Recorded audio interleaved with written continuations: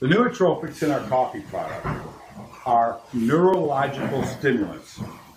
And what they do is they provide satiety in the brain when your brain is seeking chemical satiety from sugars and sweeteners and fats and, and fat creating compounds. It does that because it creates a neurological stimulation response. And our body chases that, which is the form of craving and addictions. And so what we do is give the body neurotropics from botanical sources that are highly concentrated for their known chemistry structure. And that chemistry structure gets into the brain and does the same behavior. It gives us that neurological stimulant that gives us that satiety, that satisfying trigger that switches that satisfaction mechanism on. And so now I don't crave, I'm not hungry, I don't want. At the same time I've done that, they're called opiates and dopam- dopamines or dopamogenic compounds. This side of the brain, satisfied, I'm not hungry, I don't want that. I just got it. Over here, because I got it, I'm happier, I'm in a good mood. I just really feel good because they're euphoria compounds. So I've created a euphoria that gives me in a good mood, but that euphoria also satisfies my cravings and appetites. And we want to start here. So goes the head, so goes the body, just like a football player and a diver will tell you. Where the head goes, the body goes. You bend over, you're going to flip over. When you're thinking healthy, I don't want to eat, I'm not hungry, you're not going to do it. So goes the body. So you can take weight loss ingredients that can go into the body and attack fat where fat resides. And that's what everybody does.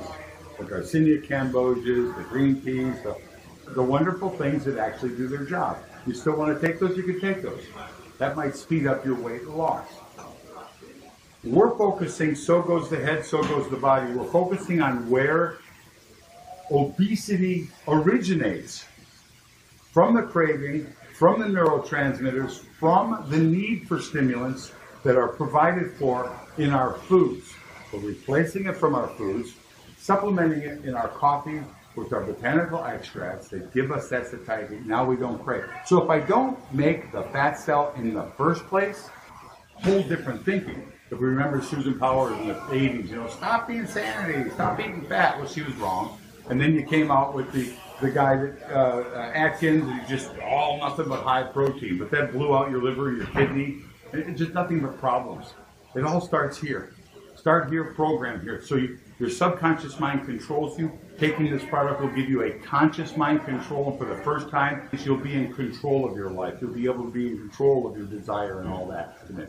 That euphoria comes up. And that's where everybody wants to be, in a really happy place. And it gets you in a happy place.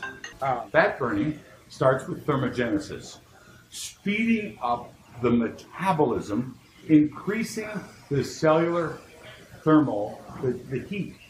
Heat is energy. If I can cre- increase the energy, I increase the heat, I increase the thermogenic burn.